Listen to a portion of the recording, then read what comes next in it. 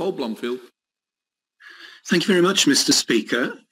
Um, from the 1st of January, the Secretary of State will be responsible for our trading relationship with other European countries. Now, with or without a deal, the services sector is concerned that their interests have been marginalised throughout the negotiations with the EU. This doesn't just affect financial and legal services, but engineers, technicians, and others too. So will the Secretary of State commit to securing, as a start, mutual recognition of qualifications to enable all these crucial sectors to work across Europe?